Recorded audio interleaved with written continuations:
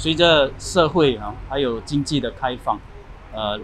人流的流动量会增加，也也意味着说这个呃我们的还没有接种疫苗的年长者，他们变成一个弱势群体。哦，没有接种，他们如果得到这个病，呃，这得得传被传到这个病毒的话，他们呃会得到严重疾病的可能性是相当高，百分之十到百分之十五之间，说每个十个老人一到两个之间会得到严重的疾病，进 ICU 哦，要用要用气管来呼吸，呃，这个这个我们要尽量尽量的避免，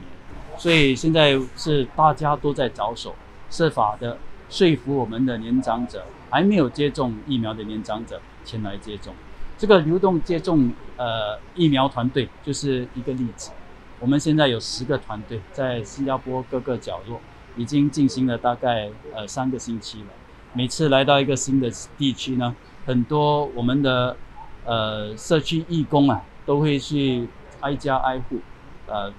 说服我们这边的年长者。下来打针，哦，所以今天就有好几个已经下来打针了。呃，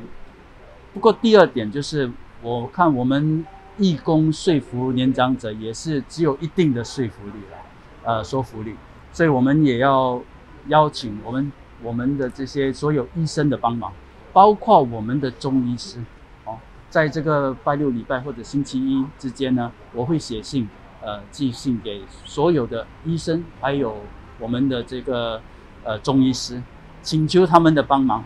尽量打电话，